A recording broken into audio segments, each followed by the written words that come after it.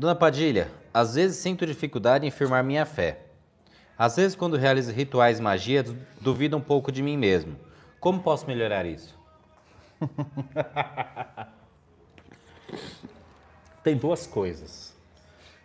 Parar com esse negócio de fé. Por quê? Se ele estiver reconhecendo fé como algo obrigatório de crer naquilo que ele ainda não viu, ele vai continuar não vendo nada.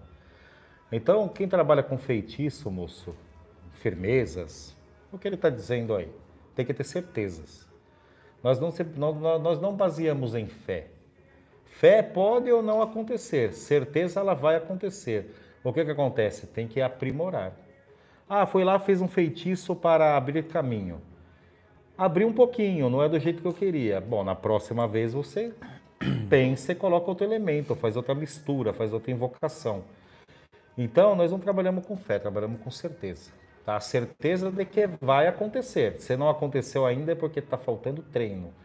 E é isso, tá? Não é na primeiro feitiço que ele vai conseguir fazer as coisas. É uma prática, são experiências. Mas a primeira magia primordial, boca. Se não tiver confiança no que sai da tua boca, esquece. Tá? Mais poderoso que a vela, mais poderoso que a galinha, mais poderoso que o próprio padê em si é a sua boca, ela que manifesta.